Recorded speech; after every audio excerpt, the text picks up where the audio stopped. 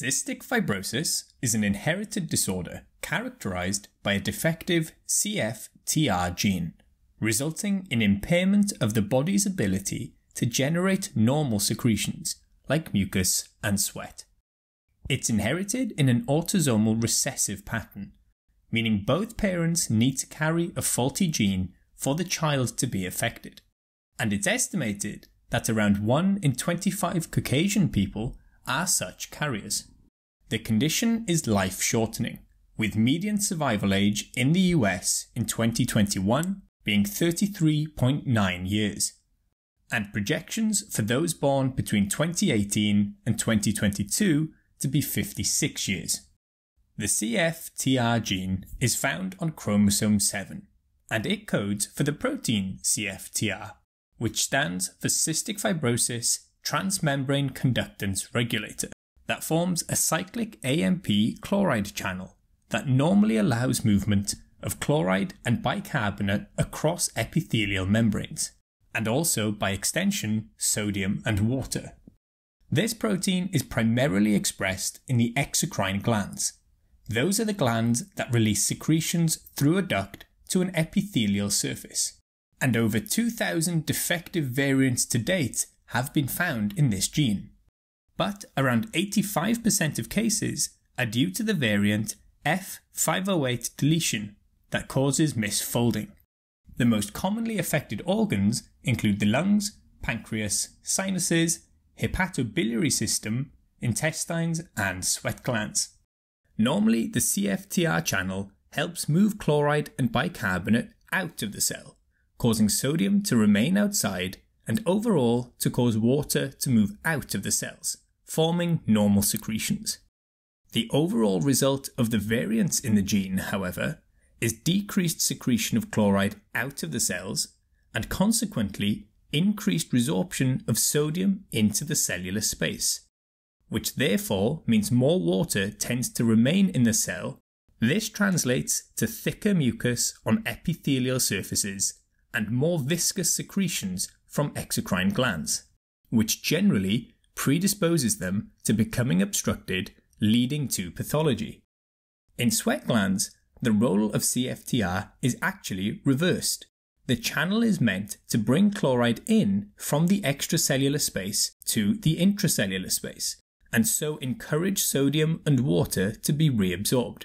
It's for this reason that in cystic fibrosis, chloride remains in the sweat and so so does sodium, causing the sweat to be excessively salty, and excess sweating can also lead to significant dehydration. In the lungs, the CFTR dysfunction can mean stickier mucus that is more difficult to clear for the cilia, leading to mucus plugging and a breeding ground for recurrent infections, particularly Staphylococcus aureus early on in life and Pseudomonas aeruginosa, colonizing 60% of adults later on. There is then inflammation with release of proteases and cytokines that perpetuate the lung injury, including release of interleukin 8 that can stimulate further mucus secretion, altogether giving episodic exacerbations and eventually dilatation and destruction of the airways, termed bronchiectasis, with progressively worsening lung function. The resulting hypoxemia can lead to pulmonary hypertension and eventually right sided heart failure, or cor pulmonale. In contrast to COPD, emphysema is not prominent, and although the respiratory system may be normal at birth, respiratory disease can begin even in infancy. As we mentioned, the pancreas can be affected, the obstructed ducts can lead to early activation of the enzymes and subsequent autodestruction of the pancreas. Pancreatic function then deteriorates, eventually causing insufficiency. The endocrine function of the pancreas is largely maintained, at least initially, but diabetes mellitus is present in 2% of affected children and 50% of adults.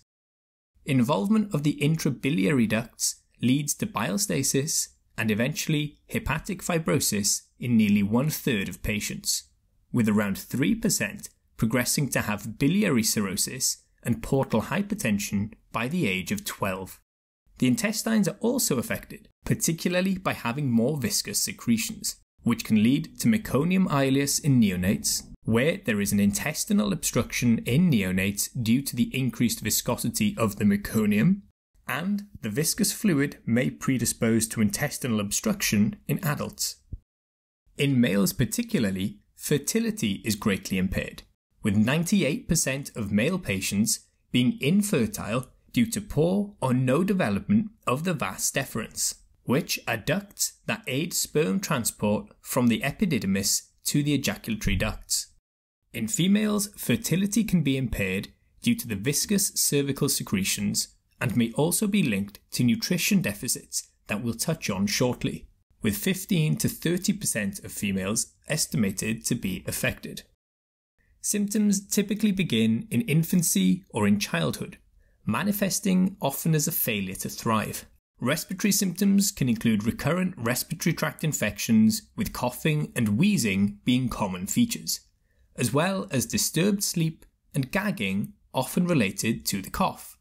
During exacerbations, hemoptysis is more common, and as the disease progresses, shortness of breath or reduced exercise tolerance become more prominent. Pancreatic insufficiency leads to malabsorption of nutrients, particularly fats, resulting in poor growth despite a good appetite. And it can also cause foul smelling stools laden with lipids that are difficult to flush, called steatorrhea. Malnutrition and vitamin deficiency, particularly in vitamins A, D, E, and K, which are the fat soluble vitamins, are common.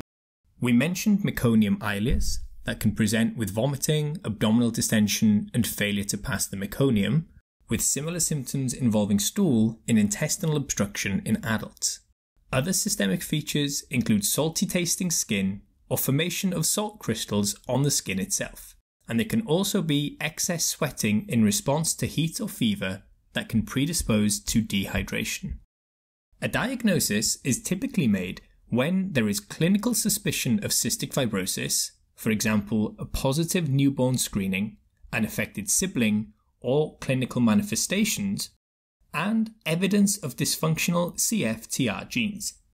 Newborn screening is the way in which most cases are diagnosed, which initially looks for the level of immunoreactive trypsinogen in the blood, taken from a heel prick, followed by sweat testing and CFTR gene analysis.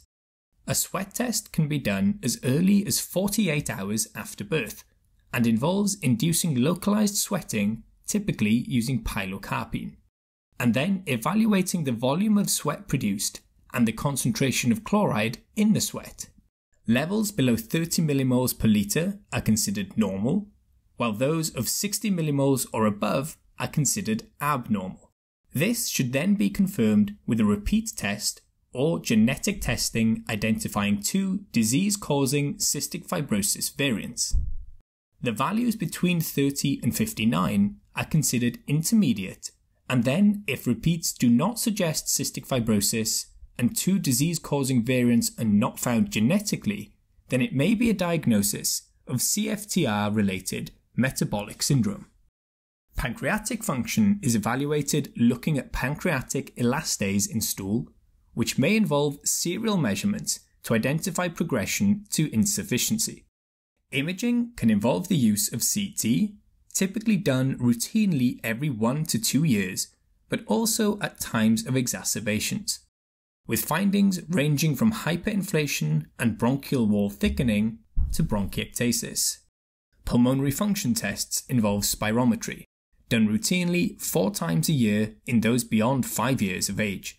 There is typically a reduction in forced vital capacity and forced expiratory volume in one second, as well as the FEV1 to FVC ratio. While there is no cure, the goal is to alleviate symptoms prevent complications, and improve the overall quality of life.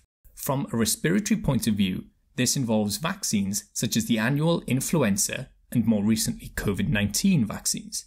Airway clearance measures involves movements to encourage expulsion of the thicker secretions, such as chest physiotherapy, active cycle of breathing, and other methods like vest therapy may also be an option to aid this, and aerobic exercise is also encouraged. This helps increase the volume of sputum cleared and helps with dyspnea.